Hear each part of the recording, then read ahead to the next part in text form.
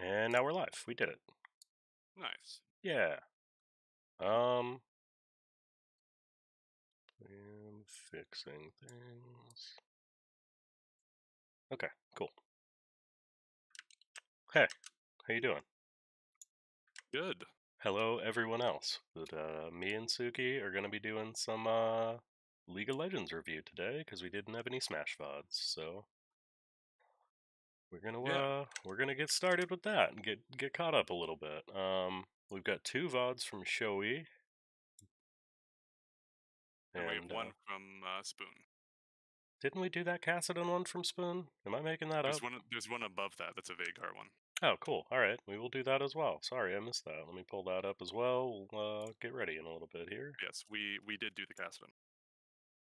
Oh yeah, I missed this this one. Okay, and good. All right, we're we're ready.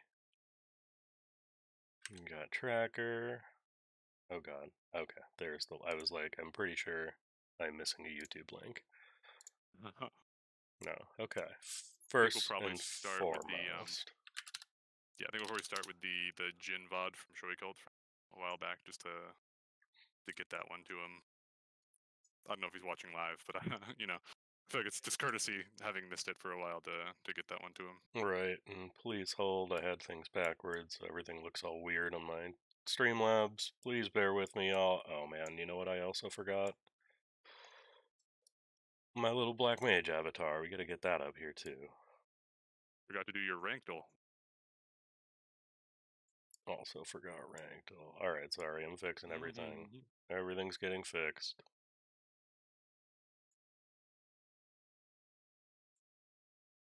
Okay.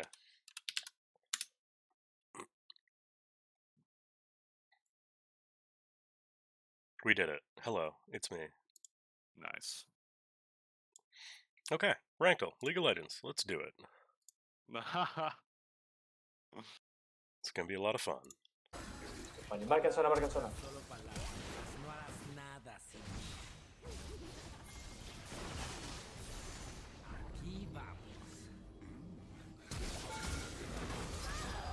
Pues realmente, pues realmente, mucho realmente, ya la verdad, ya. Sí, sí, ya, Oh. ya. That adds a layer of difficulty. It's not NA. Yeah. Bueno, pueden ir en los. Probably land. Um, I'm gonna go. I'm gonna go diamond on that one. Yeah.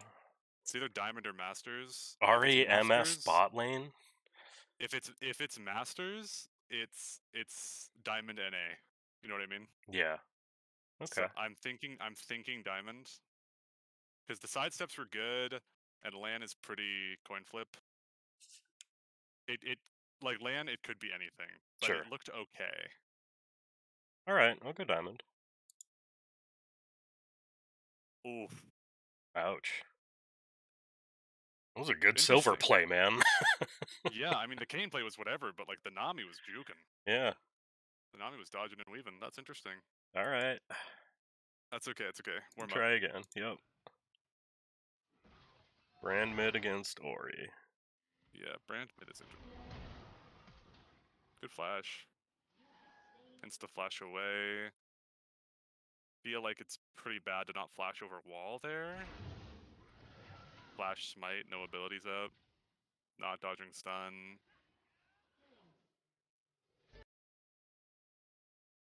Maybe. Oh man, now I'm nervous. I feel like the mechanics look good, but there's definitely some flaws in the decision making around the mechanics. Yeah. So I want to say like gold, maybe Yeah. plat. No, I'm going gold. This feels low. I'm going gold on that one. Yeah, What is this? that's masters. What is happening? Wow. Alright. That's okay. I mean that was also not NA, so it's it's tough. It's tough. Yeah. Vayne. Bought QSS, so we're using our brain to build. Yeah. I'm gonna restart and this Anathemas. once quality pops in. Yeah. If quality ever pops in, what is Uh, happening? No condemn, bad QSS. Uh, oh wow. The itemization's good, but the mechanics are really mediocre, and the QSS was really bad. Oh.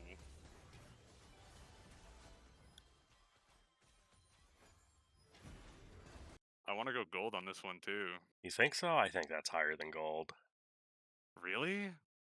The QSS was really bad, didn't use condemn, didn't dodge any abilities, got bailed out by Lulu, everyone spammed ping Vayne even though Lulu did the work.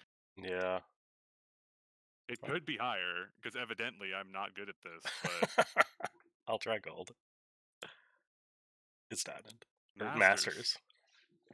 What? I don't Dude, know. No wonder, no wonder my games feel so bad.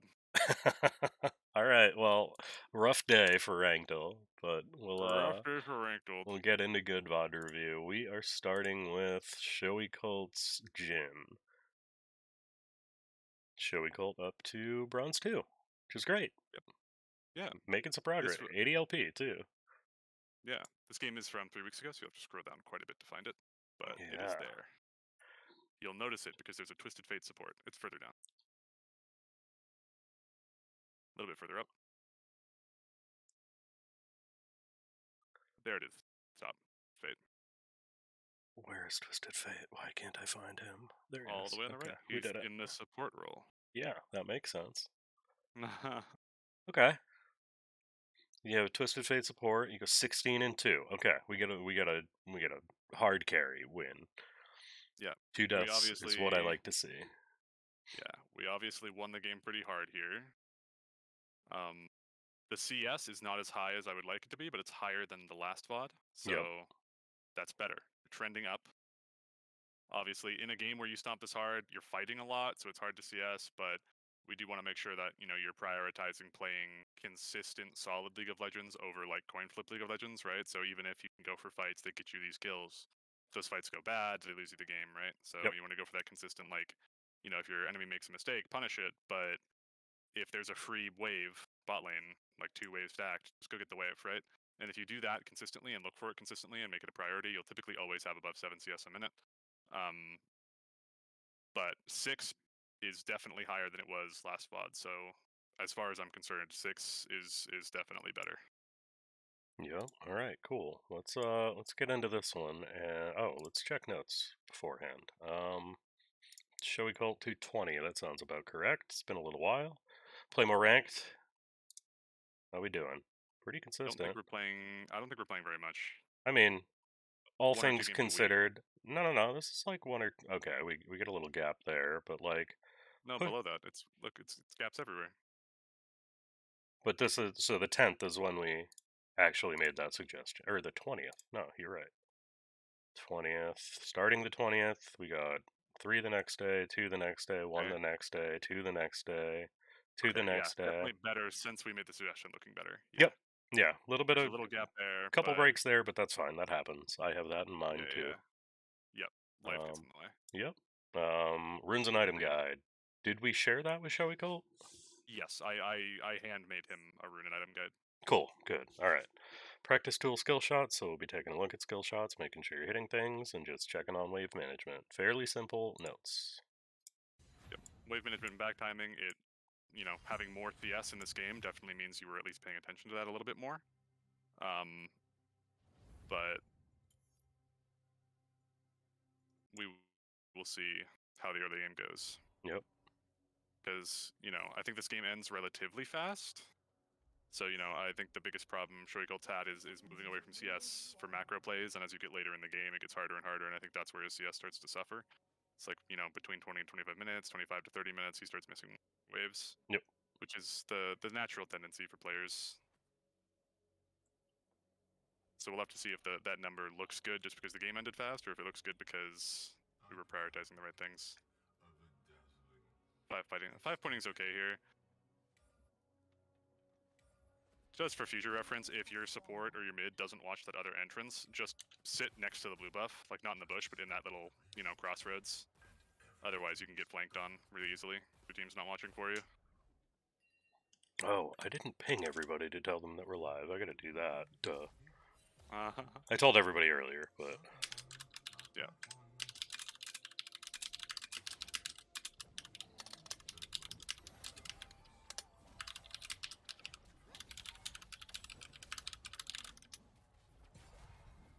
Don't wait to fourth shot there. Just fourth shot and go to wave. There's no point in waiting for that like extra 10 damage from it being lower HP. Fourth shot and get the wave faster. There's no point in warding that that early anyway, so it's kind of good that you missed it. If a jungler's gonna level 2 you, if they're already in that bush, like if that's where you're seeing them, then it's already too late. So there's no point in warding that bush for level 2. If you're warding for level 2, you want to ward try. But even then, like, it's typically just, like, against supports that you know will do that. Better Itemization, we did go Doran's Blade into a, a one-shot lane, so that's good. Good skill shot usage, good combo usage. Nice. Nice. Really well done. Yep, the minion. You want to catch this next wave. You should shove this wave and then recall.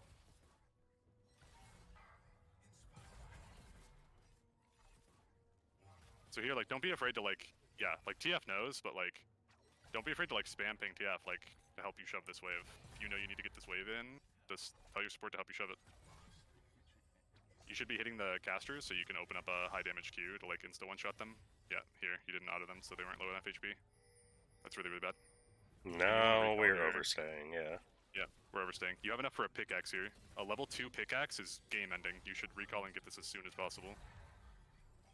There's no reason to stay on a crash wave. Especially because like if you crashed that earlier, like you were meant to, used your abilities to crash, then it would have been like instant, right? You would have had like a huge wave crash, Lux wouldn't have been back yet, you could have got the recall, come back free on pickaxe. Part part of the reason too, like obviously you could go get pickaxe, but one of the one of the things that I think is relevant to bring up here is like you have a th- you got first blood, you have twenty farm, you have a thousand gold, but this Samira is not at all behind you right now because you Yeah, have that's- not invested that gold. So like Yeah, regardless of how far ahead you think you are because you got that kill, you are now not ahead. I mean, this Lux is pretty low XP regardless. You need to be investing your gold so that you can actually have that lead.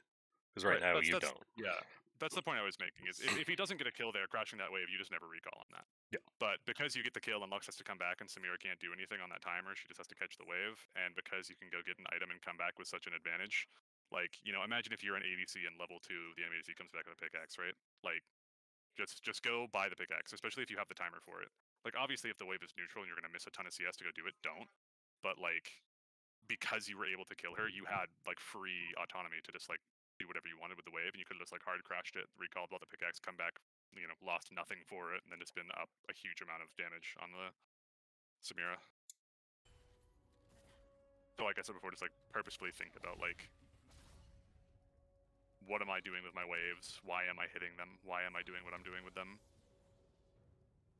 We shouldn't with uh, let, uh should not hit the wave here. We should just put a trap in the bottom bush so Lux can't walk into it and let the wave start pushing back into us so our TF can start looking for gold cards and we can start looking for kill angles because right now all we're doing is like perma crashing but we don't really have a way to poke them. So she's just free CSing under tower and we're just giving their jungle opportunities to come bot and never really getting anything done with this wave.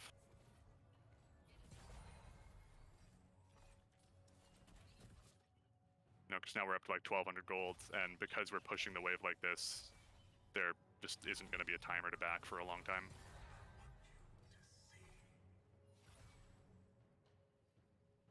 typically for a back timer, right, you either want to like neutral shove the wave, so like minions die really early on both sides, you get a timer to back before it meets again, or you want to stack a wave into huge crash so you can back while they're catching, right? If you're just like neutral shoving like this, where like you're shoving a small wave and they're catching it on tower, it's just not efficient to get it back off on that timer. You want to make sure you're thinking about like what you're doing with your wave and why, because right here you're just kind of like you're literally doing nothing. You're enough for a Noonquiver in your back pocket. You're just doing absolutely nothing with it. You have traps up and you're not using them to defend against ganks. We see Warwick top, but still proactive, right? Traps last a while. And you want to be placing them because they start regenning the second you place one, right? You're not worried about mana right now. So far, I've seen real improvement in the W skill shot usage. Yep. Definitely a lot better Ws.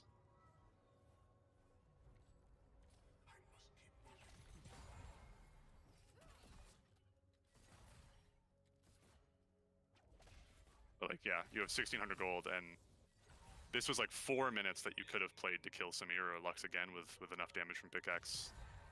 But you've instead just been like neutralizing the lane, not creating any pressure, not creating any like kill potential, not creating any gank opportunity, just sort of mindlessly shoving the wave.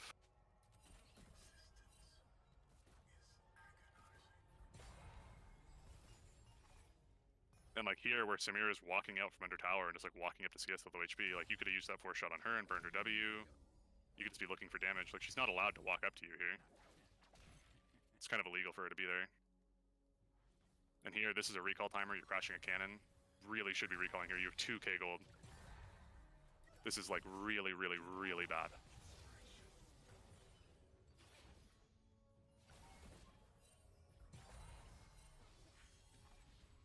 And now the recall feels really bad because they have three casters and you haven't full crashed.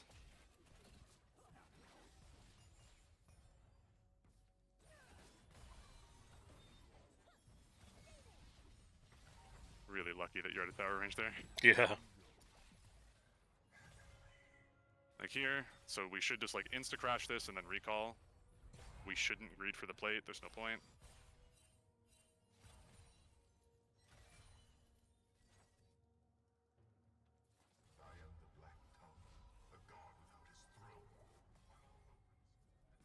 Don't do it. Oh. remember, we, remember what we said about hesitation? No hesitation. It's really bad. You wasted so much time there. And you, you, when you come back with the lead that you've gathered in this lane, you will get that plate anyway. You have seven more minutes to get it. But now you're stuck here after bot lane's recalled, so Samira's about to come back with a lead on you. You have 2.4k gold, and Samira's about to come back with a lead on you because she backed and you didn't. And because you let her come back with her item, she can actually full clear this wave with Lux faster than you can rekill and get a timer off because you screwed up your own timer. So now Samira, if she plays this well, is going to get a plate. So by getting that plate, you traded a plate to someone who was down, which if you're down gold, you should never be getting that, right? You should go pickaxe and tier 1 boots here. You have the lead, you have the advantage, you have the winning lane.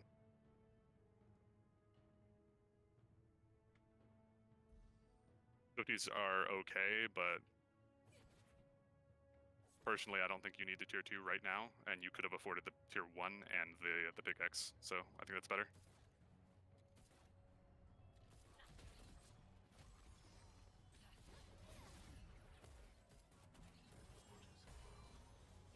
Good W's. Only thing I would say is like ping your W. You should heal Nunu there. We need to be aware of like when we can heal our teammates. Nunu does not need to die there at all. If you just heal him. And if you're placing traps underneath him, so Samira is slowed, etc. Remember, like using everything in our kit, like we talked about last time. Something that you got better at last time that you're seeming to falter on a bit now.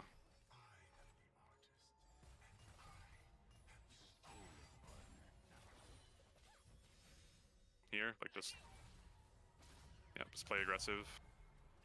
Hit tower, hit Lux. You want to be placing traps above you in case Warwick comes. You haven't used your trap in like four years.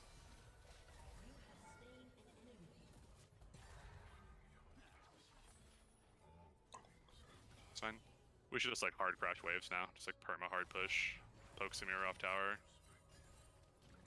What is the difference, just for the sake of us trying to prove this point? What has changed that they should just be hard crashing waves now? Are they just Uh, that far ahead? Well, well now Samira is alone in lane. Oh. So previously both of them are in lane. So Samira, you can't really walk up and force yourself on Samira because Lux can always look for bind or they can always look for all in. Um, but when it's just Samira and you're both full HP, you can just walk at her under tower and force her off CS. Um, Fair, okay. So you- you didn't mean to stay and just continuously push waves. You just meant at the time you can just shove this wave and not worry about Samira. No, I meant you can you can continuously push Oh, because okay. Lux is gone. So you can like all TF has to do is walk up and use a gold card. She has to use W in reaction to it. If she doesn't, it gets hard chucked out. Um, once her W is down, you just play on W cooldown because TF's gold card is lower cooldown than Samira's W. So you wait for the next gold card, gold card to her tower, and then you can just insta one shot her on dive if she stays. Got it. So you can just hard push wave because you can push her. You you you're allowed to hard push wave here because you can facilitate hard pushing Samira off because she's alone. Previously, you're just shoving waves into Samira and you're just neutralizing and never setting up for a back timer. Um, so there's no point. Okay. You're never going to dive Lux and Samira at the same time. You're not going to force them off tower. You're just going to get a little bit of chip damage here and there. She's going to catch wave. It's going to neutralize. It's just knowing the extent of like your damage and what you can force on the enemy champion. Sure. We have good CS at 10. 80 at 10 is good. Definitely played lane a lot better this time in regards to CSing. But we Um, would have that. We would have that same amount had we backed appropriately, right? Yes, yeah, definitely a lot better done in terms of just like actually mechanically CSing, but definitely not better in terms of like how we manipulated the wave, right? We Yep. didn't do anything the wave. So like part part of my my thought and concern here, like we go back to these notes that we gave, play more ranked, did it, cool. You got a rune and item guide, practice tool skill shots. Seems like you have either been doing that or you have just gotten more practice on Jhin and therefore is skill shotting well. You're not handling wave management and back timings very long. uh, Very well. So like we have another VOD for you, Showy Cult, that we're gonna take a look at in a little bit here. Um but like if that doesn't improve in this VOD, we're just gonna go next to the next VOD and see if this improves. And if not, like this is your only note. Um, Yeah. Because we the other the other ones look like obviously still keep working on them. We'll keep prioritizing those. Um because they're still good to work on. Um because they're not perfect here, right? Yep. But they definitely look a lot better. So, you know, in terms of like this VOD, we don't need to see more of you being good at that right now because we've seen that there's improvement there. Rather look at the next VOD to see if there's something new to practice or new to look at. But yeah, definitely. Like, I mean, th- it's not his only note. Like, we definitely have to go back. Uh, like, you've you've reverted to just never using your trap ever. yeah, Like, you really may as well not have leveled this ability the way you're playing. You just haven't played trap. Like, you've had multiple instances where you could have placed it above you to block Warwick ganks, where you could have placed it in the bush to block uh, Lux from walking in, where you could have placed it on wave to push harder, and you just haven't used it like once. So that's like a that's a regress uh, regression to how it was when you first came in for a VOD, right? Which is something we don't want to see. Good heal, just to make sure you're safe there. yeah, pop pot. Yeah. There you go.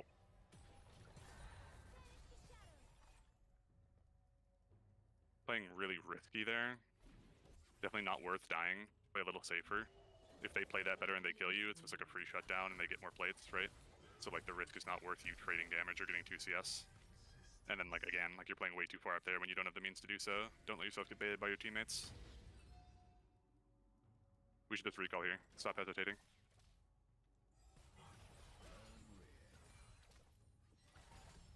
Like against better players, if I'm Lux, if I'm Warwick, I am sprinting under your tower right now and insta killing you. Because like Lux can walk to you. Warwick doesn't need help on Dragon. Lux can just walk behind your tower and QE you. At least stop your back. Let Samir push and get plates. Let Warwick come after Dragon to dive. Right? So we don't want to hesitate there. If we're too low to catch the wave, don't greed for the wave, just recall.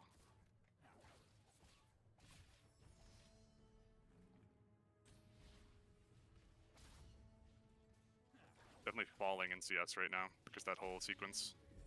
We were at 80 at 9, 80 at 10, and now we're at 92 at 12, which means we've gotten 12 CS in two full minutes, right? So, not great.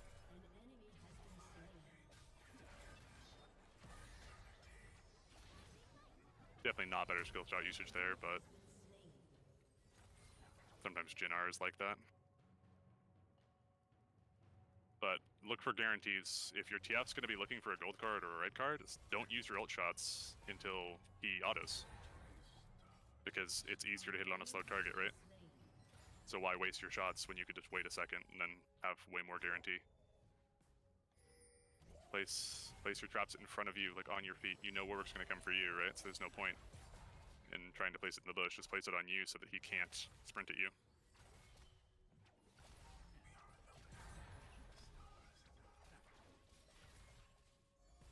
Here, we just want a hard push and then reset. Because we have Gale Force, and Samira is not back yet, so you have a timer to hard crash. And then it's insta recall.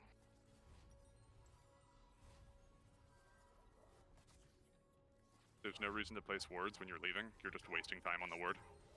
it's going to take you about 60 seconds to recall, buy, get back to lane. More like 45 seconds.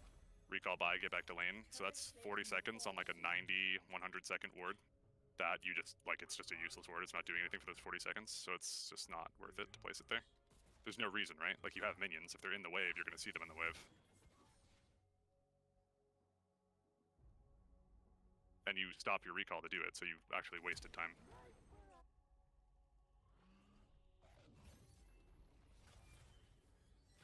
You don't need to help him with Gromp. You have a wave crashing on tower. Prioritize that.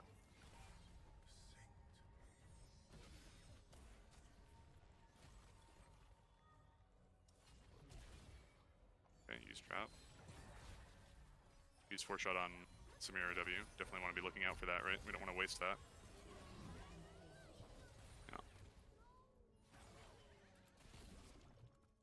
Place traps above you. Yeah, there you go. So tra- that trap should be coming out way earlier, right?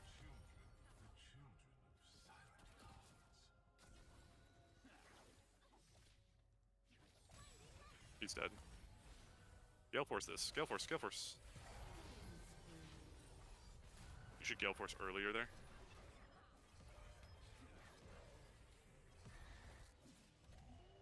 Yeah, not great skill shot usage. Still not placing a trap. Slow is a really valuable tool here. Just place a trap under him. Especially when he's gold carded, just place a trap under him. If you place a trap under him, he's slowed you can't get in range for Q on you. We're just not using our traps like we used to.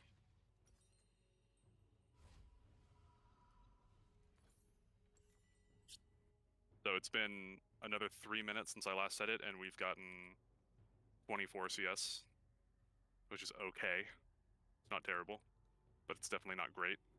You know, if you're at 80 at 10, you definitely don't want to be at 116 at 15. Right? Okay-ish, but we're definitely starting to slow down. And it's because we're taking really weird fights, right? We're not thinking about what we're doing with our wave, we're walking to random things, we're helping Nunu with Gromp for no reason.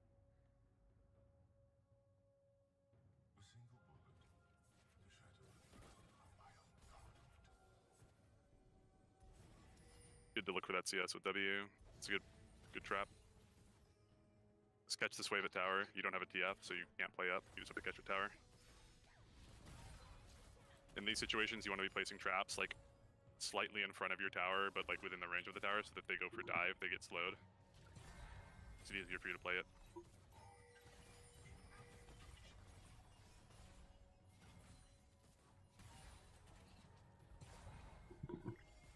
Good us under tower. Yep. Better. Nope. We don't need to walk into melee. Yeah, no melee. Definitely no reason to walk into melee. Place traps. Please place traps. Use Gale Force here. You have Gale Force, you don't need to flash. You could have Gale Force there like 70 times to kill the Warwick, get out of the Luxar, and then you would have still had flash to dodge that. But, I mean, you had Gale Force dodge that too. We need to be more aware of what Gale Force does for us as an item. It's not just an execute button. It's not just a combo with four shot. You use it to dodge, you use it to get out of a bad situation, you use it to kill someone, you use it to combo, you use it for, for tons of things. In that situation, it definitely should have been used to, to reposition yourself. Because you could have done both at the same time, right? You could have repositioned yourself away and killed the Warwick with the active at the exact same time if you just used it early, but it looked like we panicked a bit.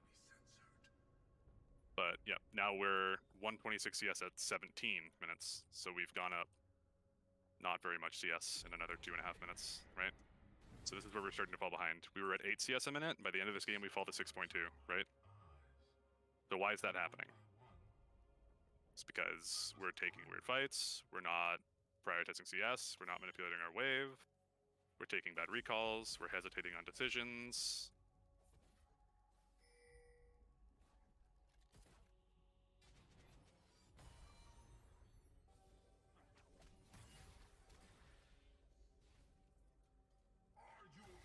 should be very scared here. You have no tower, you don't see Warwick, Dragon's up. You're pushed really far up with no help. He ends up being top side, so it's fine, but realistically Warwick should be on the bot side looking for Dragon here, and you're just dead if he is.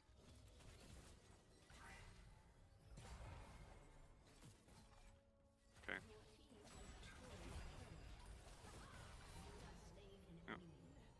Definitely don't want to force shot the tower there, you want to hold it for when TF gold cards the Samira. She'll use her W, and then you can four shot Q Gale Forcer, and then walk out, get the tower. Just way more guaranteed. Because if she doesn't use, like if you waste four shot on tower there, and then she doesn't use her W for nothing, then she blocks the gold card, E's to TF, and then potentially kills him, and then just walks out, right? So. Waiting for BF is fine here. You want to be with your team, but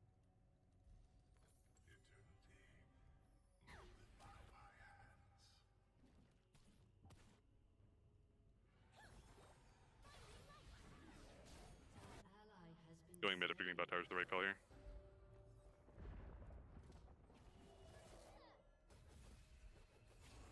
See, we're we're ditching another wave to go help Nunu for no reason. And even though Nunu's safe, we're still ditching the wave. There's a whole wave mid lane. This is why we're falling down in CS. That wave's gonna hit tier 2. That wave's going to no one right now. That's like 150, 200 gold, and like 350 gold factoring in XP that we're just letting hit our tier 2 for absolutely no reason. And there's not even a dragon here. We're not playing anything at all. We're literally, like, we may as well have been in base this entire time.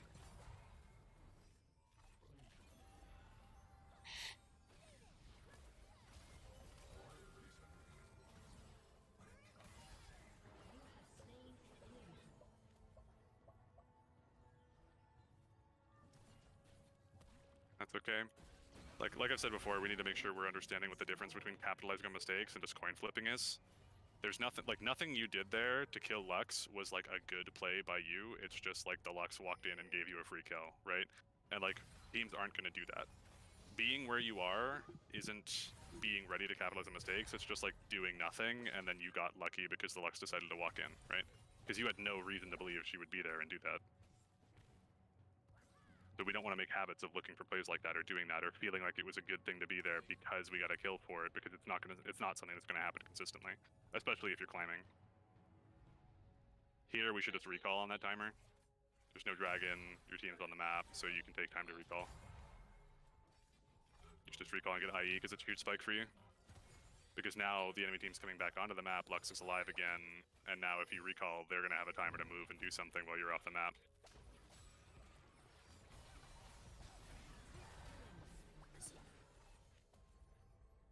This is another recall timer.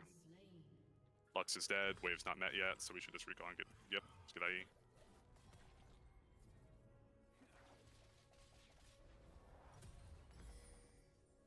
Wait for quick look. Nope, just wait for quick look and buy a blue trinket here. You're level 11, you still haven't bought your blue trinket.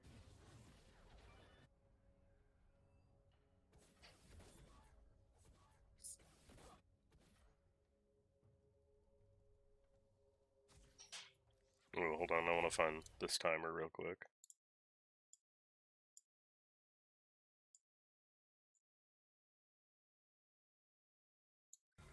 Twenty minutes, 138 farm.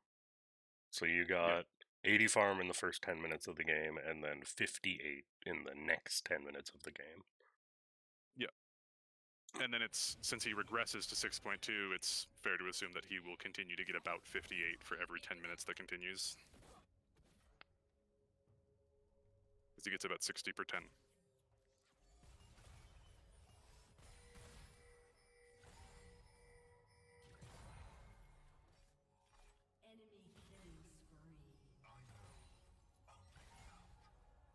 So we want to walk up mid here. There's no reason to push bot.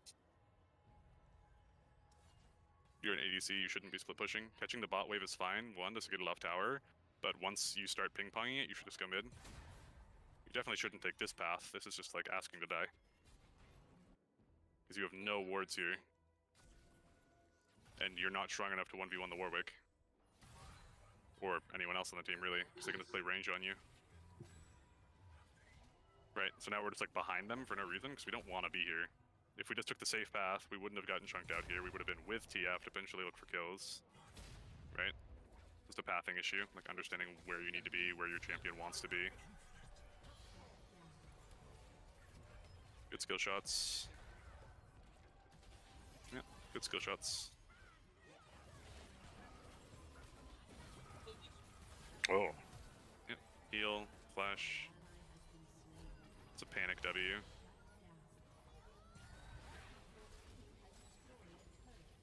It's okay.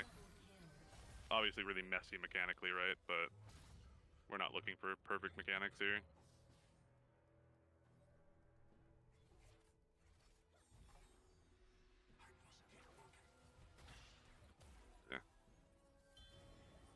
Think we can probably move to the next VOD. Yeah, I think so too. Um, what do you what do you want to do as far as going to the next VOD? Um, obviously, We just- I think we just keep some loose notes, like on a notepad from this one, and Yep. then watch the next one, and then combine them.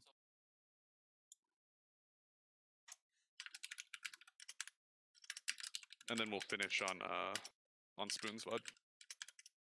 cool. That sounds good. Um, macro, we're keeping wave management and back timings. Um, Yeah. And this is what we're going to be focusing on, I think, pretty specifically here, because like we can't just keep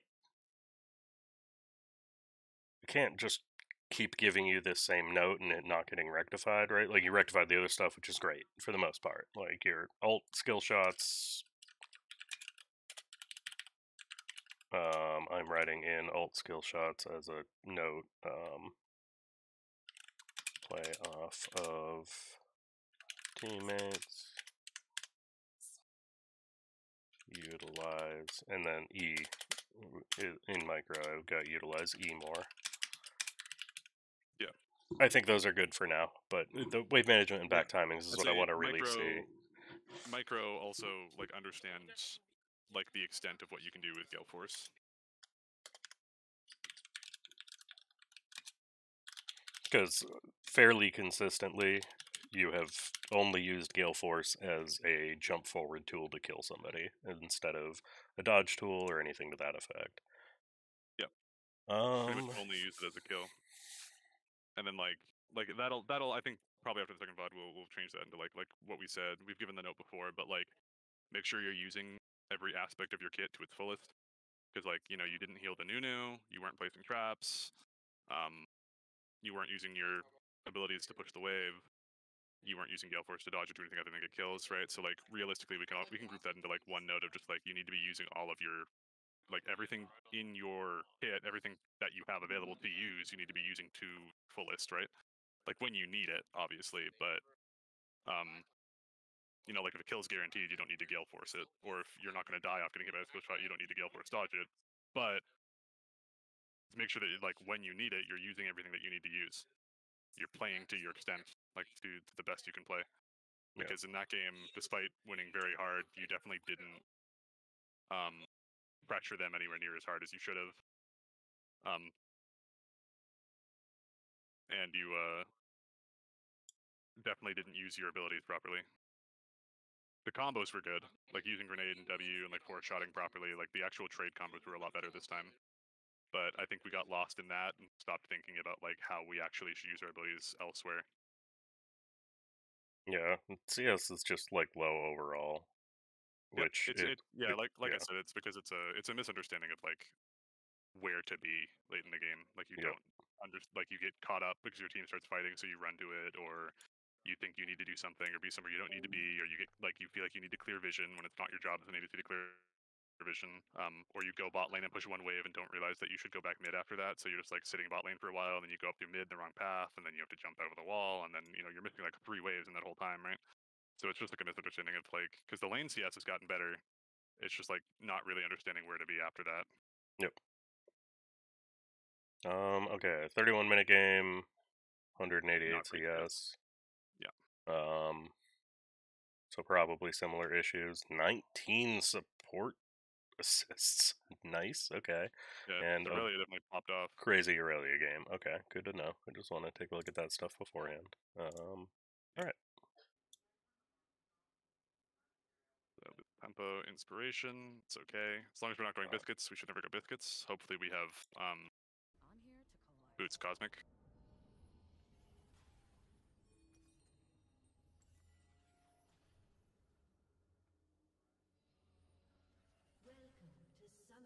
We always want to path straight to tri-brush. We don't want to walk around the red like this.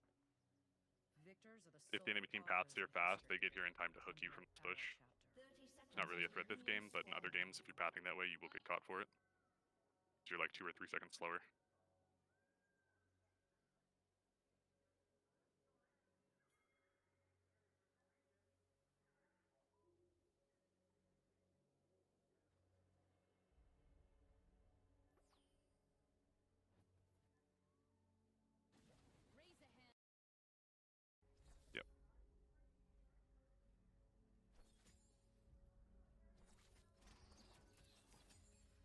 Really bad CSing. In lanes like this, if you're not being contested, especially, you don't need to use abilities to push, and you don't need to use abilities to CS. You're missing a lot of CS here for no reason. You're not being pre- like if you're not being hit by the enemy team in any capacity, you should not be missing a single minion. If you're missing minions like this, you definitely need to go into uh, practice tool.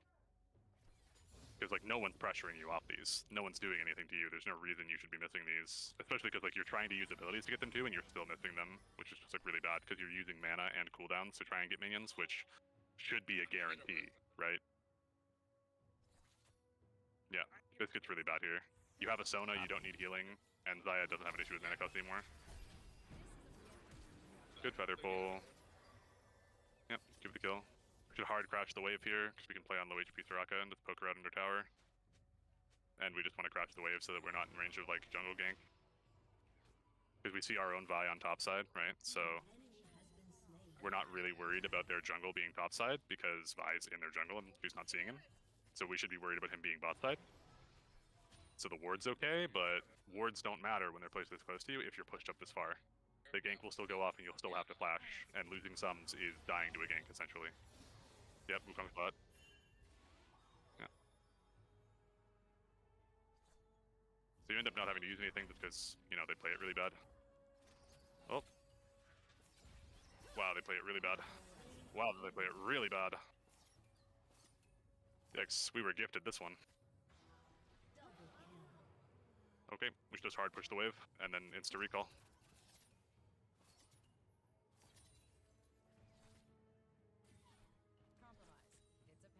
Hard push the wave. Use abilities to hard push the wave. You should be hard pushing the wave here. What is the benefit of you doing what you're doing? This is these these are the moments where it like what I say. So it sounds a little condescending, but what I say and it, it it's it's truthful is if I were to pause this moment in time and ask you right now, what benefit do you gather? Like what how does it benefit you to do what you're doing right now? You wouldn't be able to answer me. You couldn't actually give me an answer for why you just did what you did. Which means that you're not thinking. Because in the game, you need to be asking yourself that question. Every single time a wave is in front of you, you need to be asking yourself that question. There is no excuse for not doing that. The CS is really, really bad, by the way, in this lane. We're hard winning the lane. We've had free reign over every CS in the lane, and we've gotten like 50% of them. It's really, really bad. You should be up 20 CS. You should have like 600 more gold than you have.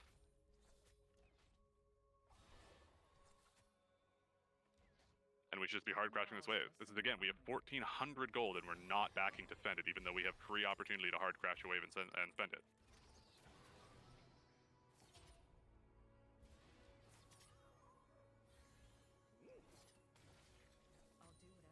And you have red buff and blue buff, and you're not utilizing it to win the lane.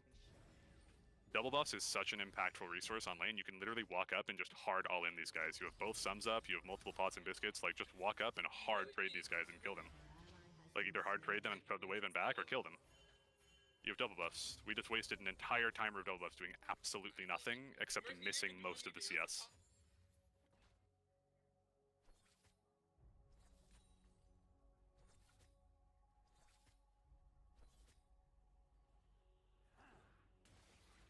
Like here, we just don't pay attention to where Twitch could be. We don't respect it. We need to be popping pot. This is something we also talked about. You pop pot really late there. Just pop it the second he pops up on you. There's no reason to hold it.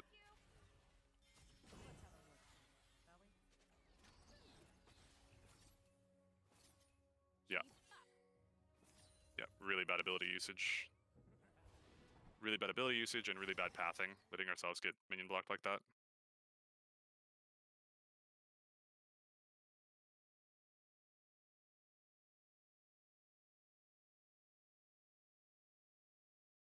Yeah, he just picked up Xayah.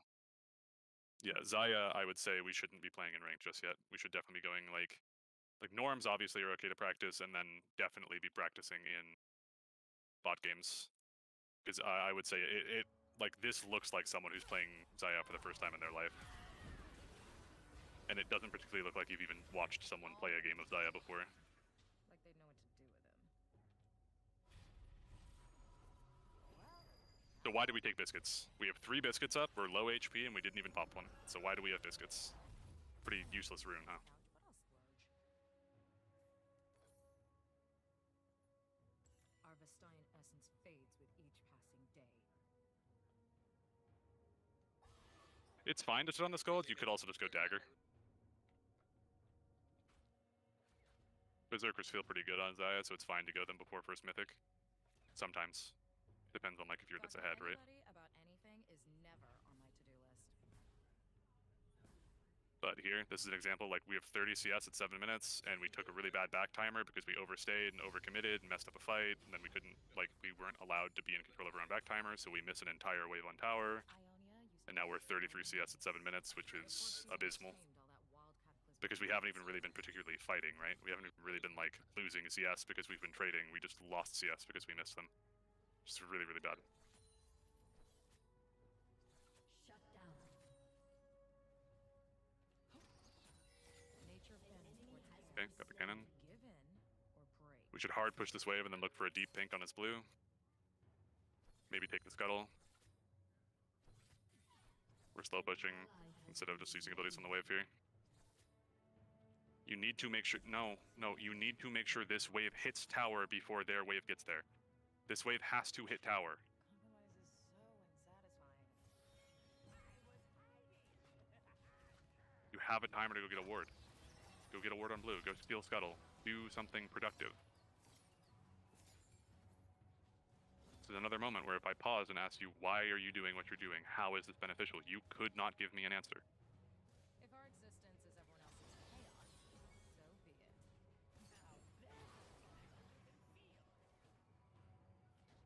If we hard crashed that wave, took scuttle, got a deep ward, come back to lane, it would have been neutral. We could have looked for trades. We could have looked for poke.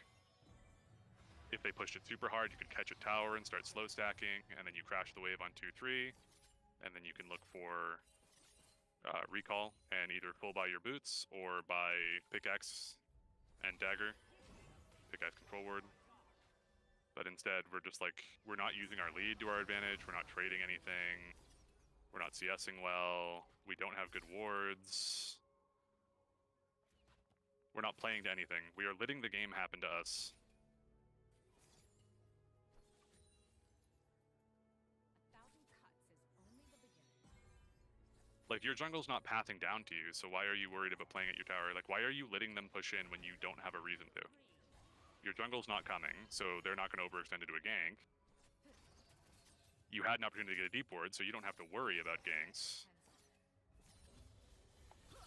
So this was a huge timer to be able to play for ourselves and play to facilitate a lead, and we just did nothing for like three straight minutes. And now we're sitting on 1400 gold again without doing anything.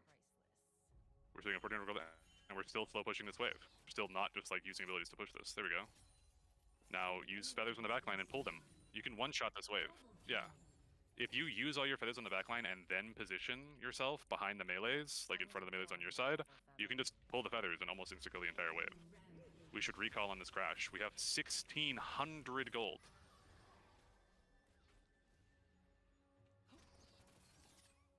I, I cannot stress there is maybe one time out of 10 that it is ever the right play to sit on this much gold and still be in lane. Maybe one play out of 10. Probably more like one out of 20. So the fact that it's happened in two games is really bad. Like, this is an insane amount of gold that you're sitting on. The only time you ever have this much gold and you haven't recalled yet is when you suddenly get four kills and this amount of gold just appears in your inventory. You never CS casually to this much gold without backing. So now Dragon's coming up. So you really want to back and get an item spike for Dragon, but you haven't recalled. So now you have to back late, which means they can just do the Dragon while you're gone because you didn't back. we still haven't popped our biscuits. We just full traded and got silenced by Soraka and haven't used our biscuits yet. What are they here for? Chaos is the preferred state of nature. Okay, we pop one. See, and now instead of being able to play on Praya with your item lead, you gave up Dragon for free for no reason.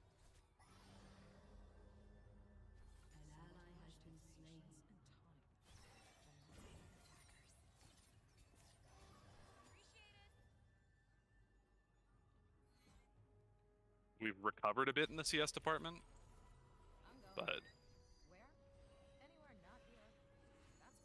but you know, there's no reason to not be 10 CS a minute here. If you can go into a custom game and wait, you could have full buy Gale Force. Why'd you buy Booth?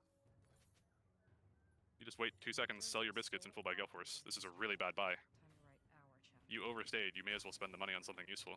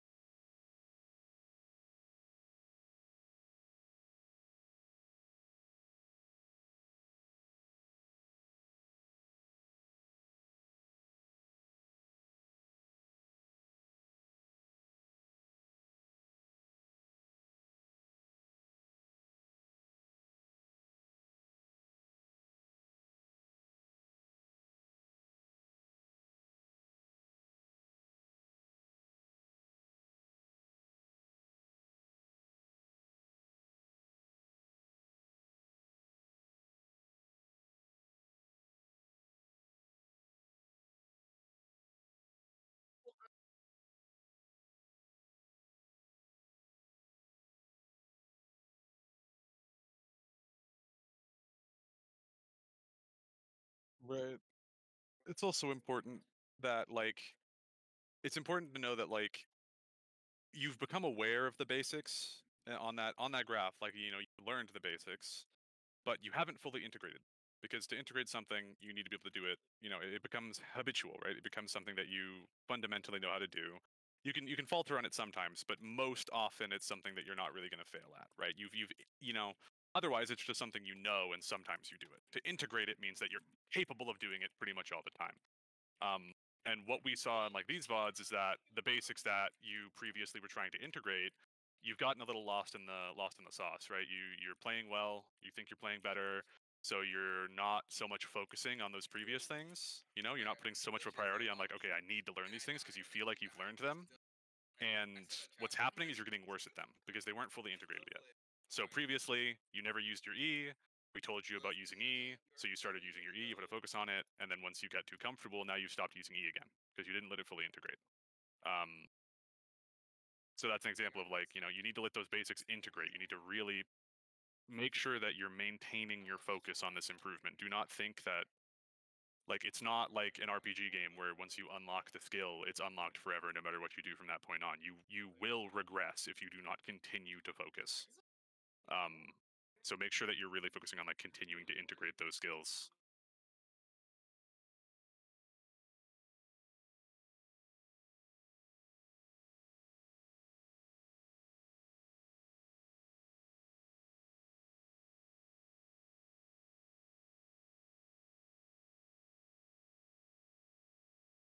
I think it, I think it's okay if you want to open up your channel to Xayah, but you you need to put a lot more work on it.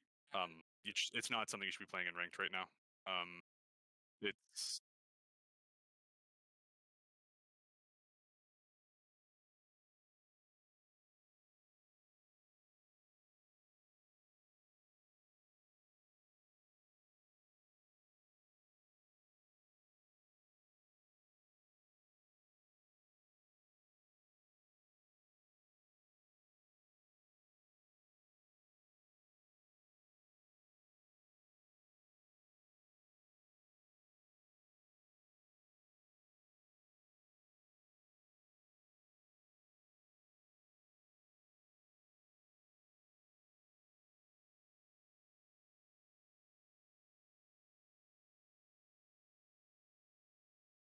uh he can't. Hey, uh, are you sure you're not muted on stream? I definitely was muted on stream. Thank you. Sorry. Um. Oh God, was I muted for that whole thing? I think so. Seriously? Yeah. Oh no. Oh, Like, was I muted for the higher order skills? Can anybody in chat confirm? Is anybody in chat? Nobody is in chat. I'm sad. Oh, okay. I can't I can't confirm or deny whether or not you were muted for the squiggly graph, as Gavin put it, because that's when he came in. but Sure. At least at least for everything after that, you were muted. Okay. Well, we'll assume that I was not muted for the squiggly graph. Worst case scenario, I'll I'll I'll put together uh, an explanation for him if he says he uh, says you. Yeah, that sounds good. Um, but most specifically, we want to we, we want to take these things down to pretty basics here. I want you to play Jhin. I want you to just play Jhin. I know Suki, you say like if you want to incorporate Xayah, like we, I want to remove any and all distractions and barriers from us learning second order skills, which means playing the thing that you're most comfortable with. Um, so pretty simply, two notes. Utilize your E throughout the game in various ways, as Suki has suggested. Use it defensively, use it offensively, take space with it, deny space with it. That's those things. And then, most specifically, wave management and back timings. Make sure you are handling your wave as you need to, back when it is appropriate and you have gold. Uh, if you are confused or have questions about what this is and how it works, let us know. Like, ping us in the Discord. We will find more clear examples to show you of how to do this specifically. But I want to see a VOD that is you playing Jhin, utilizing your E, and utilizing appropriate wave management and back timings. Can we? Uh, I, I think for micro, we should put uh, what I said after the first VOD, which is more so like just like make sure you're using every piece of your kit. Like just make sure you're using the abilities that you have available to you. You know, use your heal, use your gale force, use your E. I think it's, a more general tip. Because like just using the E, I feel like you know it's super Jhin specific. Obviously, it's something he does need to work on because he's he's regressed a bit on it. But it's also just like it's it's an overhead concept that all applies to the same thing, right? Like if you if you learn to start using everything in your arsenal, using your E will come with that. Whereas like if you're just focusing on using the E, you're not necessarily going to attribute that to everything else. But that's like when we look at this next game, I'm going to be looking at this specifically, but you should also be putting that in. Like I am doing what I can here to make these as simple as possible so that we can really focus on Wave management. how to handle early game. Yep, and we do have a wave management guide in required reading. Oh, perfect. If you Okay. need to refresh, but yeah, that's the one you, that you posted. Remember? Yeah. Um. So like, if you need a refresher on that, if you don't really know where to start, if you're in those lanes, like if you if you watch this VOD and you go into games and you start thinking to yourself, okay, like Suki said, why why am I doing what I'm doing? What how does it benefit me? And you feel like you just don't know. After that game, go watch that that required reading. Go watch that wave management guide and look through the options. See like was does one of these fit? Was one of these actually what I should have been doing? Um, and learn to apply that. Okay. Perfect. And that, hopefully, we will be able to bring you up out of bronze and be prepared for higher ranks. Spoon time. We did a spoon VOD that I. Oh, there we go. Okay. Come to VOD review with questions next time. You did that. Thank you. Uh, we'll take a look at those in a second. Watch pro Kassadin VODs. Watch Showy Coat's earlier VODs. Um, start queue and range mas- matchups. Pretty small, simple one. Focus on getting CS, keeping up with enemy CS and wave behavior, and get ROA 6 and 11 as early as possible. So let's take a look at these questions. VOD submissions. Notes questions with timestamps. Okay. So we'll, I'll keep these up on the side and I'll bring them up as we kind of see what's happening, but they're a general ones. So, against a lane bully that shoves me into turret and likes to ro- roam around my lane, my thought process is to farm and only leave lane when I know they're where she is or I am with a teammate. Is this smart or is there a better way to think about playing the lane? What do I do about my lane, not specific to this game, when my lane opponent goes bot and gets a double kill? Is there something I should be looking to trade, or should I contest something like that even though they can one shot me in a 1v1 outside of lane? So, obviously, context is king Yep. in League of Legends. Um, so things will change. But in terms of base advice, um, against a lane bully that loves to shove you into turret, someone that can push wave faster than you and can push you off wave so that you have to catch wave, um, you just look to catch the wave, guarantee the the gold, guarantee the CS. Um, leaving lane has more to do with when you have a timer, right? If they hard shove into you and you see that they're recalling, that means that you have a timer to look for a roam, even though technically they're the better roamer, right? It also means you have a timer to match their recall. If they went ignite and you went TP, it means that you have a better timer to TP back to lane, hard push the wave, and then look for a roam before they get back, because they have to catch that wave like you do typically now, right? Um, so there's a lot of variance in it, but typically you're looking to manipulate the wave and manipulate the circumstance so that you look for the right timer. You're looking for your turn play, or you're looking to capitalize on a mistake they make on their turn. So if they walk an unsafe path, um, and you have a teammate there, or you can look for a short trade. You know, like if Qiyana hard pushes the wave and then tries to walk through your side of the lane down towards bot, you can look for a cage and just like quick trade. And now she's like to try and trade on you, and you just play range and walk away, take the quick trade, and now she wasted time. Either she'll commit to go back to the wave, or she'll commit to going bot lane, even though it's worse timer for her and she's a lower HP. Um, looking for little things like that are typically what you want to look for. Um, and then if you want to be moving to something, like if they have a Qiyana and you're Veigar and she wants to roam bot lane, if you're kind of neutral and can kind of match the timer, you obviously don't want to walk in and die. But essentially, what you would do is you would walk the safe path you would like hard shove your wave or let the wave remain neutral and then walk the safe path bot lane so that you can be there for if the fight becomes extended to clean up kills or to play the back with your team or to play under tower, etc. Um, capitalize on mistakes on the dive, things like that. Um, but that's like a, a decision you have to make. Like when you look bot lane, when you look where Qiyana's going, like when you look towards your bot lane, you see what the wave state is bot lane, you know Qiyana's going there. That's when you make that decision for yourself. Do I think that this fight is going to go long enough for me to get there late, even if I go save? Do I think it's better for me to push mid, get plate and a recall? Um, could I even look for a top lane roam now that I know for a fact Qiyana or someone is going bot lane? That means I'm totally safe to walk top lane for a gank, right? Um, things like that are how you look to trade across the map on those. Um, but it is very situational. Sometimes it's going to be better to just kill the wave and recall. Sometimes it'll be better just to um, try and like trade them a little bit to dissuade them from roaming. Sometimes it's better to try and slow match or trade on cross side of map. Um, but those are like the the various options that you have in that moment, right? Um, Let's uh let's get into VOD I, I and think we, yeah, I we'll that answers both of those questions. yeah, I think so too. We'll we'll get into what I think those were his only like out of game specific ones. Um, is there any is there any particular difference uh, or any kind of heuristics or things you can think of when it comes to my opponent is leaving lane, I cannot follow them. Should I hard shove or leave lane at neutral? Is there any particular like good decision to be made there, or are you looking for one particular thing that will kind of Well, cause like you I- to think?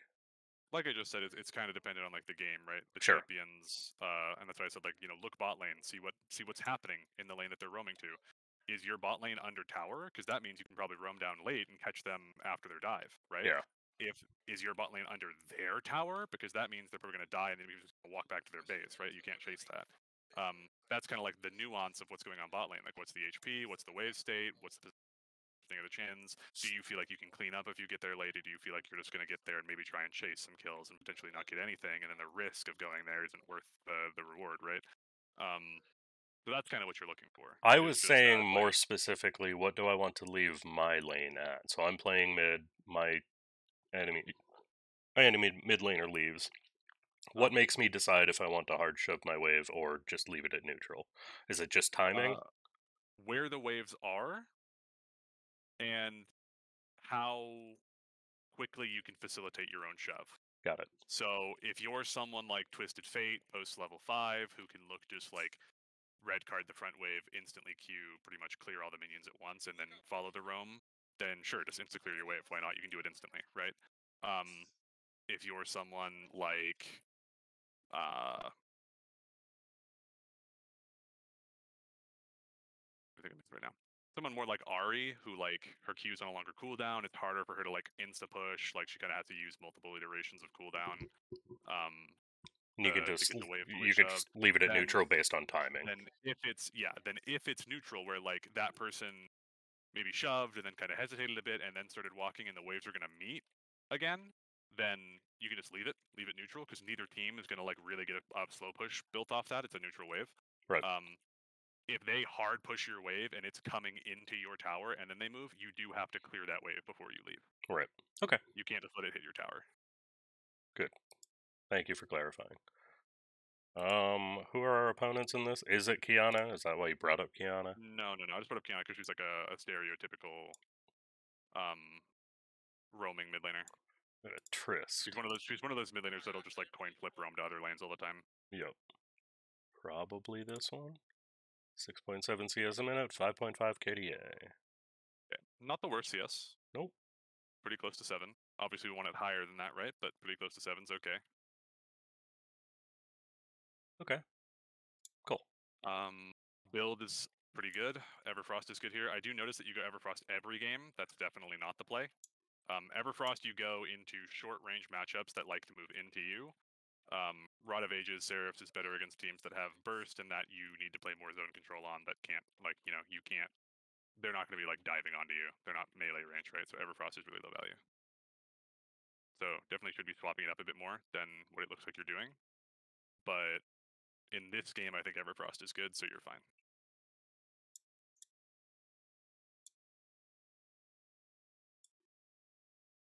Looks like no sound on the VOD, which is fine. Just letting everybody know. Yeah. So as Veigar, we actually don't want to be CSing primarily with Q. Um, you want to be looking to get both CS and poke the enemy champion with your Q. Um, and if you have to choose between one or the other, just go for the poke on the champion, and get the CS with a with an auto. Because you get stacks of hitting champions, so you may as well be poking or doing damage to your laner while you're getting stacks, rather than using that to get CS. Like just only CS, right? In one case, you're getting both the CS and poking them, and in the other case, you're just getting a CS and not doing anything to your laner. Um, so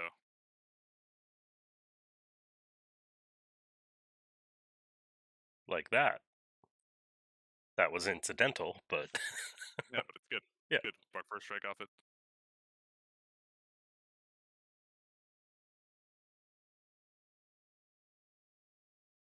CSing in lane definitely needs some work. It's not very good.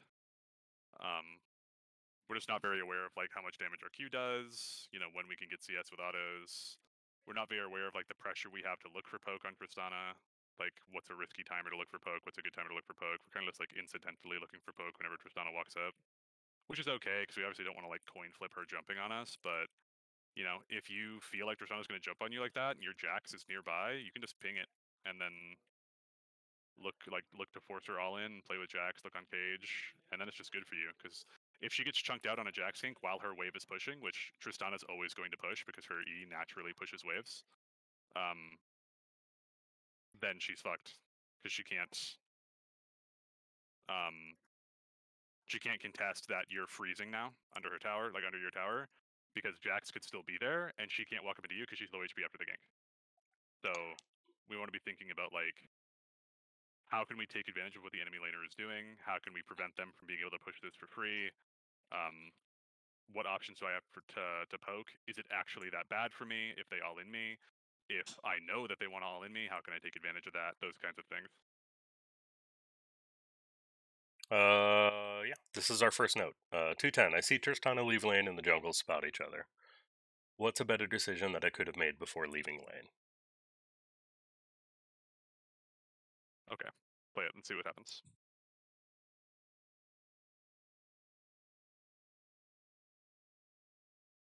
Just wait for the to spot each other.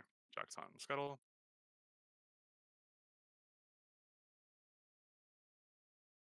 Uh, we just don't move for this. So, so what this was was you just getting baited by your teammate. If your teammate does something int, it's not your job to save them from doing it. Um, typically, it's just really bad for you, like how this ends up being. Um, you should have just hard pushed your wave and gotten a recall off so you could come back to lane and match Tristana. You can't do anything to help your Jax there. Even if he kites down to you, he's dead.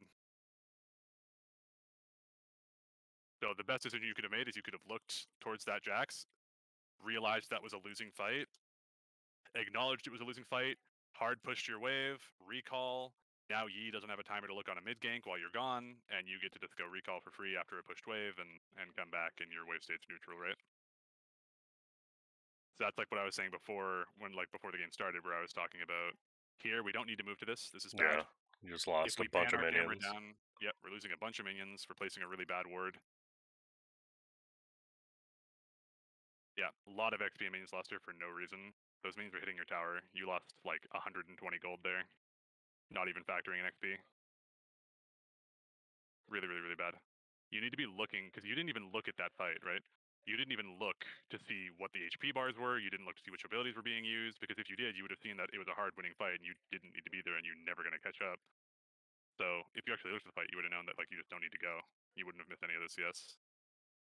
So we, we feel really attached to the idea of moving away from our lane, probably because we feel like we've been yelled at it before. Like we've been yelled at by people for like not moving before, and we feel pressured to like not tilt people or to perform. And you just need to ignore them because that's just a bad play, right?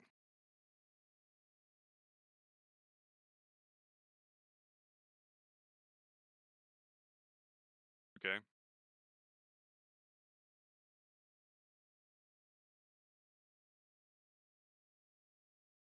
You see Yi here on Dragon, so we should be playing towards their top side. We should be playing up in the lane so they have less of an opportunity to gank us.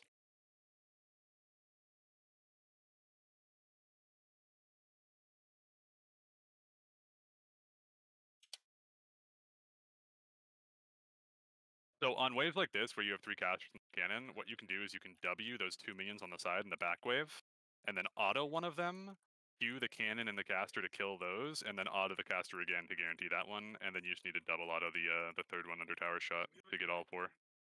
So just like understanding how to set up minions under tower, right? Understanding like how to use abilities to CS under tower on Veigar.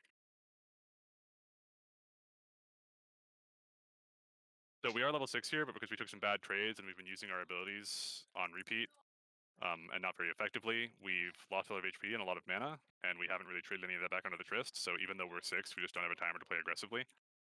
Um, what I would do here is just hard shove this wave. I just W the back line, view the melees. If Tristana walks up, just place cage and walk away. Wait for your cooldowns and play the same way again, and then just get recall because you want to get lost chapter here. So just hard shove and then recall because she can't hold the wave and freeze on you because it's Tristana. Her E will naturally shove the wave. She can't freeze. Okay, here is note number two. I am out of mana and need to back, but my jungler tries stealing Drake, and most of the enemy team goes bot and kills my bot lane. Is there anything within my power to maybe sway the odds of that fight, or am I just better off backing and consolidating my own farm by staying mid after backing? No, I think you just back Um, here, right? you, you just back and go mid. Yeah. Yep. Realistically, you should, like I said, you should be hard shoving. So if you do what I say, like if you do what I had said was good here, where you hard shove the WQ and just look to recall as fast as possible, that play might go better for Jax because Tristana can't roam to it so fast because she has to stay to catch wave at tower while you're backing. yeah, as you can see, your Um, your wave really only got to here, and Trist is not so- losing anything. So that would have been potentially better for you. Um, if you had just hard shoved that, gotten your recall for last chapter, Trist would have had to catch it. Maybe Jax still ends. maybe bot lane still dies. Not much you can do about that, but it at least would have given them a better chance, and you would have been on a better timer, and this wave wouldn't have been so awful for you. You need to be Wing the casters. There's no reason not to be hard shoving this. There we go. You should do that instantly. That shouldn't be something you hesitate for. We want to get a deep ward here. There's no reason to get close wards versus Tristana and Yi. If you're placing wards like this, by the time you see them, you're already dead. So we want a ward. We want the pink behind red buff, right where Jax is about to walk in. That bush. We want a pink in there, and we want the regular ward either on Raptors, or if we think he's gonna be topside, we place it above that little wall close to where you walk in from blue. Wards closer to you than that just aren't useful because Tristana's already going to be on you, and he's just going to catch up with his R.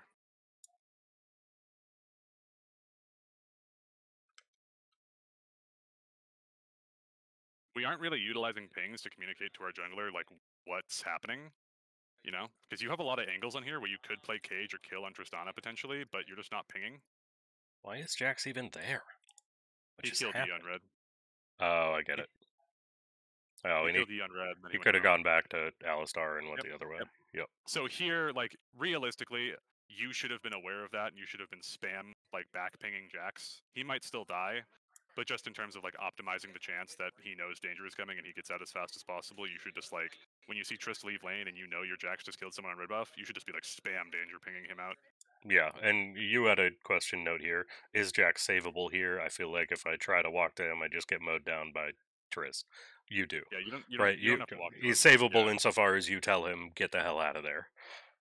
Yeah, like you can put effort into giving him the information he needs to know that he needs to get out as fast as possible because his him dying or living could be, for future reference, could be the difference between um sorry, uh could be the difference between him ward hopping as fast as possible or like leisurely taking a path out because he thinks he's okay, right? So spam danger pinging him there is way more important than just like missing pinging once, right? Here we're playing for some. So here's this is the first really bad mistake I've seen. If you go back, Yep.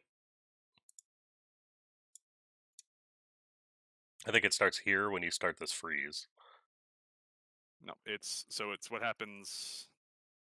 Right, it's happening kind of right here, but it's okay. But it starts happening right about here, right here. You're playing on the top side of your wave when all of your vision is on your bot side we want to play to where our vision is so that we can play away from where the enemy champions might be. So we took time to place all this vision on bot side and then we played to our top side. It's just a little nonsensical, right? Like you're asking me to all end there.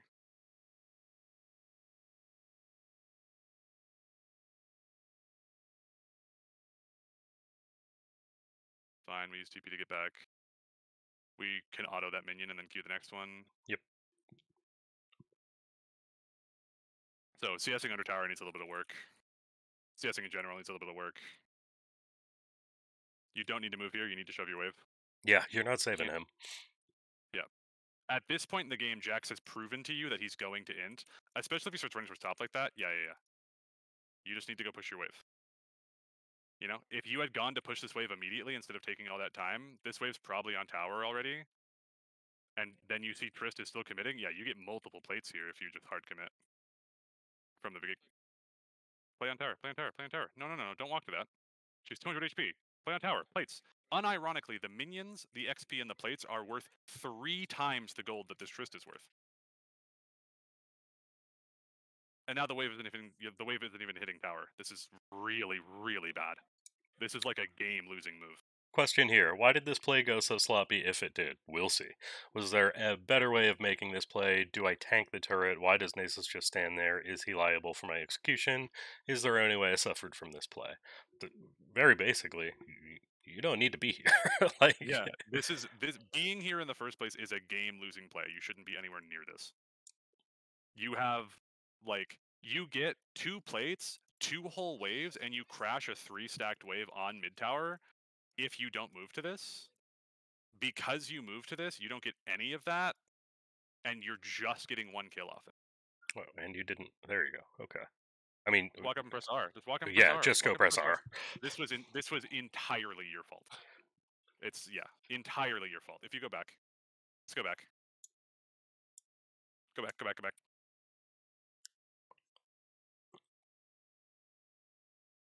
So we walk out a little early here. We need to let Nasus crash the wave before we walk out. I know we're trying to deny recall, but there's just no point. All you have to do is walk up and press R. Yep, right here, you place cage, walk up, press R. Walk up, press R. Don't even take aggro before you press R. Just walk up and press R. You can you can walk up QR at the same time, and you guarantee kill, and then you just walk out through lane and you're gone, right? Why are we looking for Q? Why are we looking for W? And then we we make the choice to go back in. If we go back five seconds, let's go back five seconds. Pause.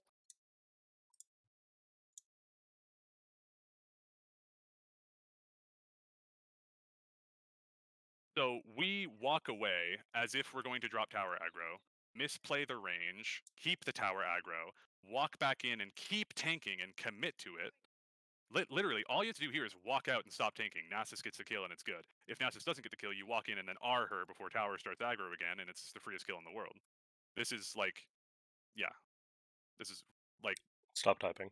Yeah, like yeah. You should you should full muted. You should have chat off. There's no reason to type. I think I- I think you're muted, but chat is not off. I think I think that they have everybody else muted, but they don't have their chat yeah, yeah. off. turn chat off, yeah. But yeah, I mean, that's like I said, that's a game losing play. Pretty much every single thing you did there was wrong. We shouldn't leave the mid wave. We should understand the value of CS, XP, and plates and pressure. Um, and if we're going to go for the dive, we need to at least understand how to prioritize aggro and how to drop turret aggro. And we should at least know our damage ratios on our champion to know that we can just QR her there.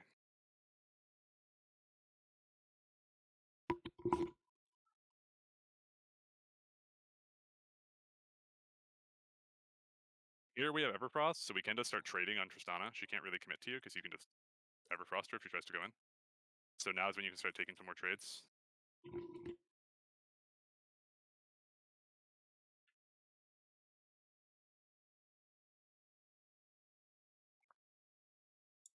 This is where I am shoving the wave as hard as possible. You should be shoving mid. So you've gotten so caught up in this idea of what should I be doing that you haven't done anything. Every single time Tristana's roamed, you've done absolutely nothing. And not in the way that like you just sat mid and farmed and did nothing, just in the way that you literally don't even farm. You walk away and you S key and you do nothing. So if you're asking like if there's something better to do here, then like yeah, there's there, there's always something better to do here because you're not doing anything. That tower should be dead, like or at least at like one plate Well, at this point in the game, be- right? Yeah, it wouldn't it wouldn't be dead because it gets tankier and tankier as Yeah. the plates drop. So Veigar has a hard time taking like the fourth and fifth plate, but he would mm-hmm. have at least three down by now. Yeah, he would have like about three plates down, probably only three. but he would definitely be like past Mythic Spike here. Probably building Rabbit on second, feeling really good about how much gold he has, looking to one shot new on this next fight. And then if you were CSing better too, like, you know, roaming for this is okay. You shoved your wave and then you moved. There's no reason to R Blitz there. He's a support and he was already dead. See, Tristan is dead here if you don't use R on Blitz for no reason.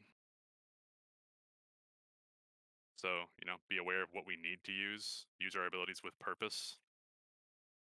Good cage.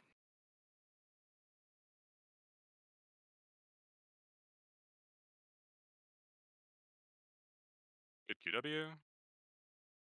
Oh, hey, you got him.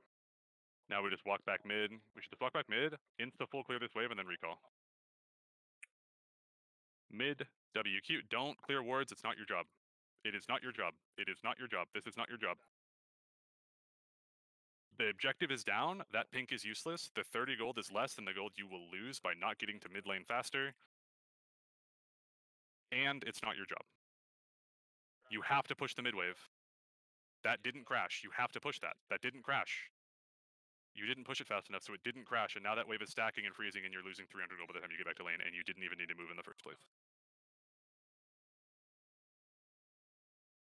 And now we have to stay when Trish to spot Kraken. Really, really brutal sequence for the last like five minutes.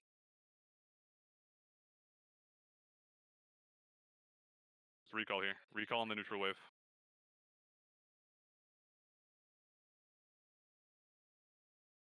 This is hard. You're just waiting to die here. Eventually, E comes mid.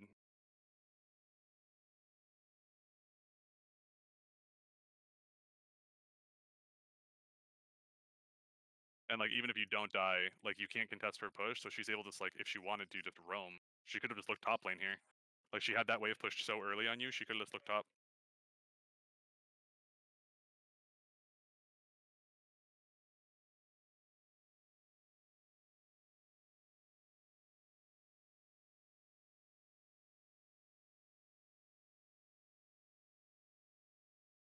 We're not thinning the wave at all because we're so focused on looking for poke. So Tristan is allowed to just push the wave in, and it takes you much longer time to clear it under tower because you haven't thinned it. So her timer to move is a lot longer than if you had just thinned it properly.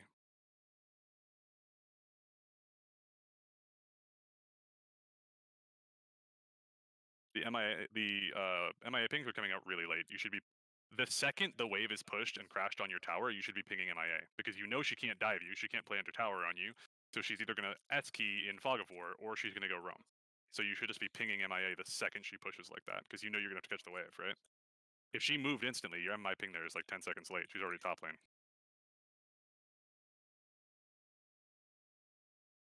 Another instance where you could probably save your R, I think, right? Yeah, you can just Everfrost QW. It's a low cooldown there, so it's okay because like realistically, you're not going to be fighting further than that. Yeah. She'll be back up the time the next fight happens, so it's fine. But yeah, you don't theoretically you don't need to.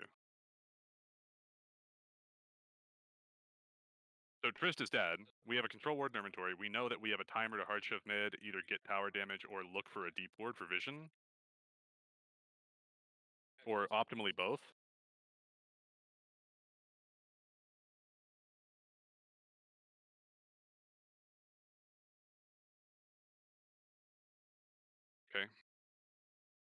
Did we just blue trinket? Did we just blue trinket dragon for no reason? It's not up. Why did we use blue trinket there? Just checking in. How are the kids? yeah, yeah, but really bad, bad blue trinket. Really, really bad. Vision is really important, and you, you know, you did actively nothing with that. And if I, if I had paused the game, you know, and asked you why you were using that blue trinket there, you couldn't have given me a reason. There's actively no reason. You saw Blitz and Ezreal on mid. You saw one person top lane. You saw one person bot lane. You knew that the only objective was Herald. You had push mid. There's just like zero reason to ever think, you know, in these situations, once your bot lane gets tower and moves to mid, you need to be leaving mid. You should be catching bot wave. You shouldn't be here at all. You're like in in a losing game state, trading towers like this, especially trading a tier two for a tier one as their comp feels so good. The fact that you're giving them gold, like realistically, their team shouldn't be allowed to get anything, especially not for free, right? They just got a 400 gold bounty and a tier two tower, which is 500 gold split. Um, and all the CS and minions, and they're still pushing, and you're still mid for no reason. This is very normal. The bot lane moves mid after first tower is gone. That flash was really weird. You never kill him. You're not in range for R.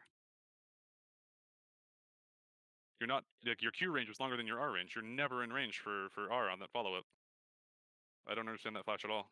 Especially because you're Veigar, who's like a really a mobile champion versus Yi and Tristana. You can't be wasting flash for nothing. You can't even really afford to be using it aggressively. They're ending the game on you. Why are you still mid?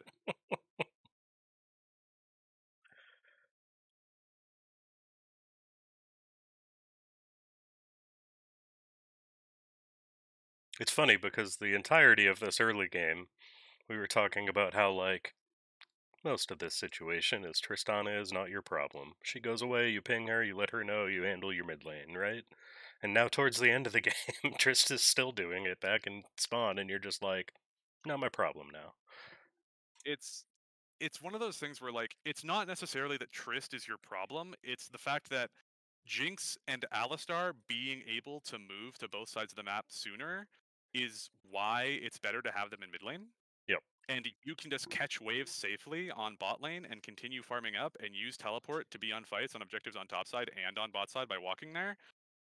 So it's just more optimal for bot lane to be mid and for you to catch waves bot and then move to fights when you when the team needs you or move to zone control when you need to set up.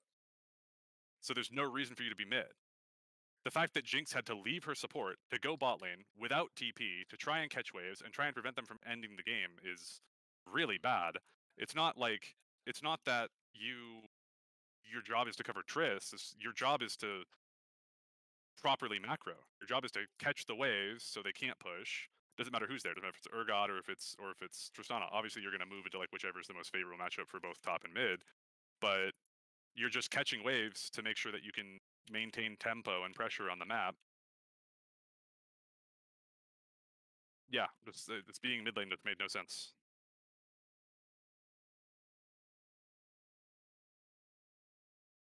That ward's okay.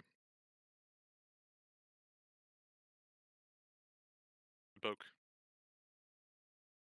We should feel more comfortable using Cage. It's a very low cooldown at this stage in the game. They can't like in, in those situations they can't really punish you for using it. If as you're like ease forward or something, you just you know you ever Everfrost R him and he dies. So it's not like he can punish you for using Cage and missing it. And if he gets trapped in the cage, then you just ever Everfrost QR him. He has to burn E, then you just get to hit the wave for free, right?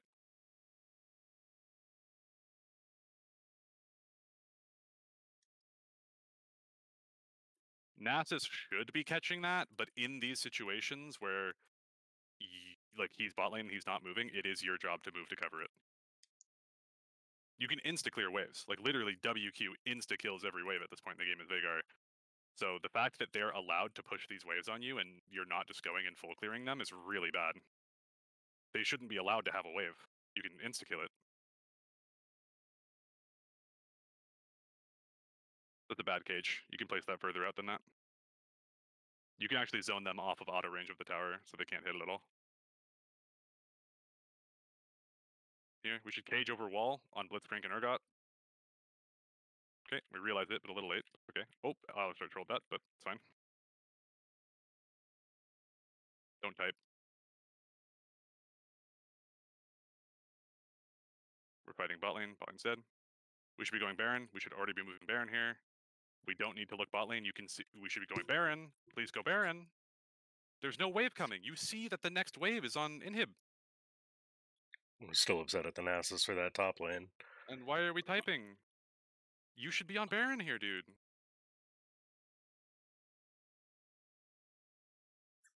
Yeah, your team just lost because of you. This is yeah. I mean, between the top roam play and staying mid and letting them take bot, and then this whole play, I yeah. I think this game is pretty much entirely on you. Why are we not using Everfrost here? Just Everfrost over the wall while they're in trap. You kill everyone here if you Everfrost over the wall. Oh, now we used it too late. We misplaced W.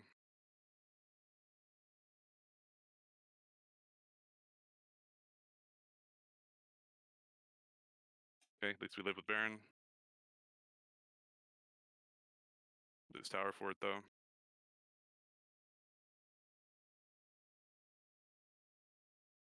We should go Zhonya's into this comp. They aren't really building magic resist. You don't need Void. It's okay to go Void, but it's way better to go Zhonya's for if uh, Yi and Tristana get on you.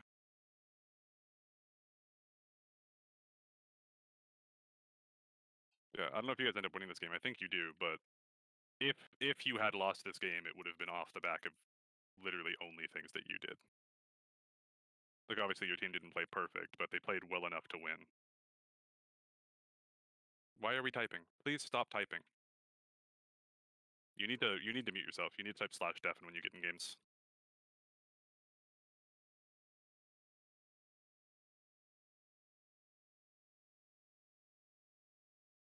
These people aren't like your your you know white team.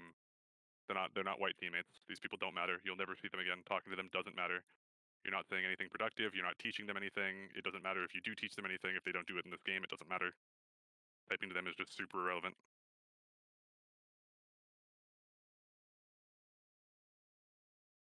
Everfrost. We need to be using Everfrost more. Just follow up on the chain CC. It's such a short cooldown. Oh, if we had stopwatch here, this feels a lot better. Oh, controlled it. Nice.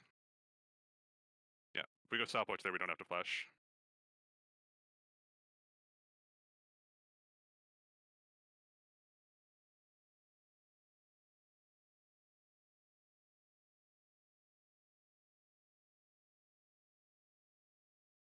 We run it down mid now, or we're gonna see a surrender soon.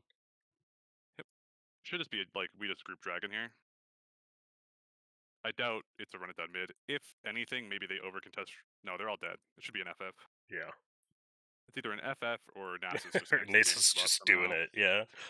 Yeah, which he shouldn't be able to with just Divine and Frozen, like this fast. It should just be an FF. Probably FF when they see that we get like Dragon, most likely. Or Nasus like kills one, two people somehow, and they tilt an FF.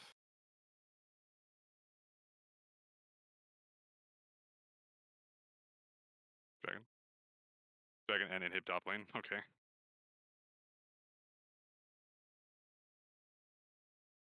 Understanding Soul win con is good. You don't necessarily need Soul here. You guys can definitely play just to end the game by going bot while top inhib's down. But at least understanding that you're one point off Soul and like being aware to ping that is good. Everfrost. If we Everfrost there, we don't get all in. And if we have Zhonya's here, it feels really good.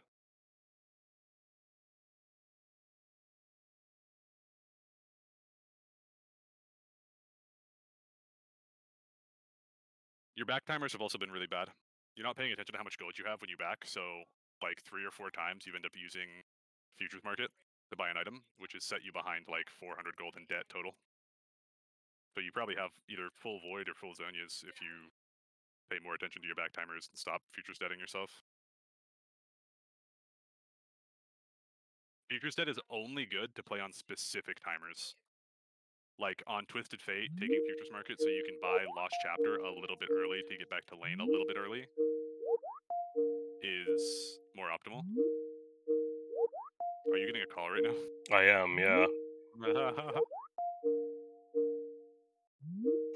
um, Um, Suge and I are going to work on notes, but I do need to take that call. Um, so we'll give you some notes, Spoon, um, to put in there in a few. Um, but I gotta, I do have to jump over. Sorry about that, Suge. I wasn't sure if they were going to end up calling, but they did.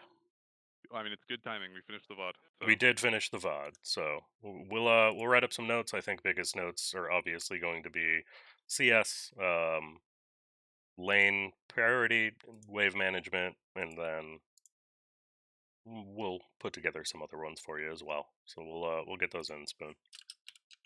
Yep. Cool. All right. Thank you, Suki, for doing review. I appreciate it. Yep. Have a good day. You too. Bye.